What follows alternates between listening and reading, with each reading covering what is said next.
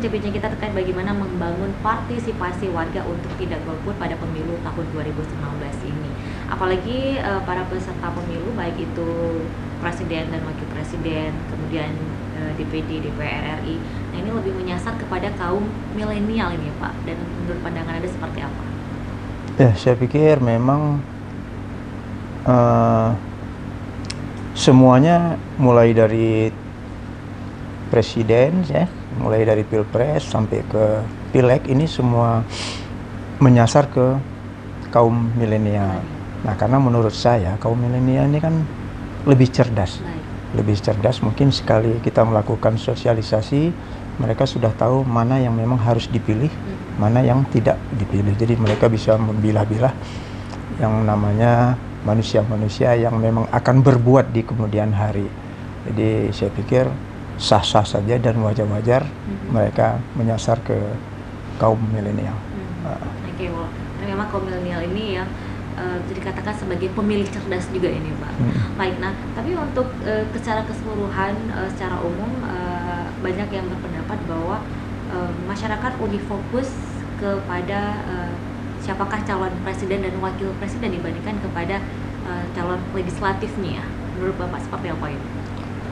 Ya saya pikir nggak juga begitu gitu. Memang ya saat ini yang namanya pileg, ya mereka tentu fokus ke pileg. Hmm. Jadi 50-50 lah saya uh, memberitahu. Memang ada sebagian yang mungkin yang partainya memang mendukung presidennya ya tentu dia fokus ke presidennya. Hmm. Tapi yang memang partai yang memang cuman ikut bergabung di satu calon presiden ya mereka lebih utamakan untuk pemenangan partainya. Nah, karena ini tujuan akhirnya kan nanti di DPR RI hmm. untuk mencukupi PT 4% itu. Ya saya pikir sah-sah saja juga gitu. Jadi mereka 50-50 lah. Hmm. Nggak terlalu fokus ke presidennya karena memang walaupun kita lihat hari ini memang yang lebih menggebu-gebu di pilpresnya. Nah, pilpresnya. Ya, jadi saya berharap mungkin ini masing-masing uh, masyarakat juga bisa menentukan pilihannya. Karena juga pemilihan legislatif ini uh, para yang akan mewakili uh, masyarakat ke tingkat pusat ini lebih penting juga ini Pak ya. Ya, saya pikir sangat penting memang karena uh, namanya DPR RI itu kan mengejar kursi. Hmm. Nanti kalau nggak cukup di 20 persennya, ya jadi akan menyusahkan partai tersebut gitu. Hmm. Jadi kita berharap partai kita sendiri yang memenangkan itu. Tapi tidak hanya kaum milenial yang mungkin menjadi sasarannya, akan tetapi juga uh, peran uh, wanita, kemudian juga uh, disabilitas, dan tentu juga mereka punya peran penting di pemilu 2019 ini. Menurut Bapak seperti apa? Ya, mungkin sebelumnya pemilu-pemilu yang lalu memang uh, untuk perempuan memang agak kurang perhatian. Hmm. Ya mungkin mereka beragampan bahwa perempuan ini tidak potensial kan. Ya tapi menurut saya malah yang perempuan itu lebih potensial. Dan kesempatan mereka ini yang agak kurang dari pemilu yang lalu ya terkadang mereka di apa namanya diletakkan di nomor urut yang terlalu jauh gitu ya tidak diberi kesempatan untuk yang lebih ke atas. Katakanlah diberikan ke nomor satu tapi sangat jarang sekali. Nah saya pikir untuk 2019 ini saya melihat ini keterwakilan perempuan ini tidak hanya 30%, malah banyak partai yang lebih dari 30%. Baik. Nah, artinya partai politik sudah sangat menghargai peran perempuan. Ya, saya berharap perempuannya juga bekerja dengan maksimal. Nah, jadi jangan sebagai pelengkap saja. Jadi bekerja, insya Allah mereka juga akan menduduki hmm. dewan. Nah, dukungan dari Bapak sendiri kepada uh, perempuan dalam dunia politik ini seperti apa ini, Pak? Oh ya saya sangat respect sama mereka ya.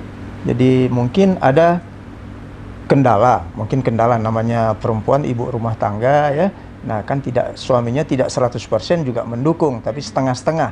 Jadi kita juga harap maklum bahwa mereka tidak bisa maksimal untuk melakukan uh, apa istilahnya bergerilya ya untuk bergerilya keluar karena keterbatasan waktu dari perempuan tapi saya berharap ada juga yang perempuan memang lebih eksis dalam hal itu. Hmm, artinya untuk uh, perempuan dalam politik ini juga di tahun 2019 ini sudah lebih baik daripada pemilu-pemilu sebelumnya. Ya, saya melihat ini sangat potensial. Mhm. Yang perempuan, calon-calon legislatif perempuan itu sangat potensial. Ya, di semua daerah saya melihat itu.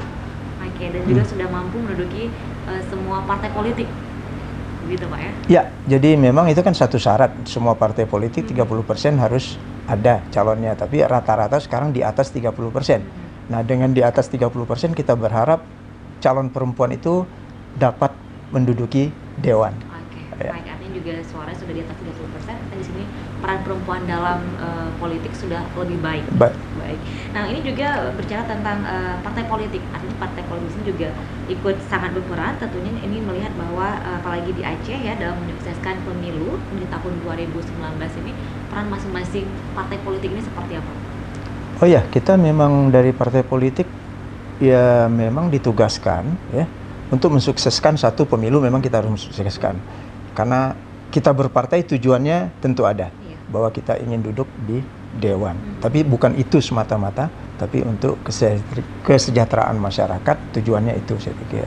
Di partai politiknya selalu bersosialisasi ya memang di antara satu partai dengan partai lain itu bersaing ya tapi bagi saya partai politik itu semuanya baik Mhm. ya yang nggak baik itu kan orangnya ya jadi kita berharap teman-teman yang dari partai politik yang lain Baik. itu artinya berharap supaya tidak melakukan black campaign sesama caleg ya jadi walaupun memang itu ada di lapangan tapi kita berharap ini tidak dilakukan lagi di tahun 2019 Mhm. Artinya dapat eh, mengurangi ataupun meminimalisir eh, kecurangan-kecurangan yang ada saat pemilihan nanti. Iya. ya. Oke, pemirsa, kita akan break sejenak dan usai jeda berikut ini kami akan segera kembali.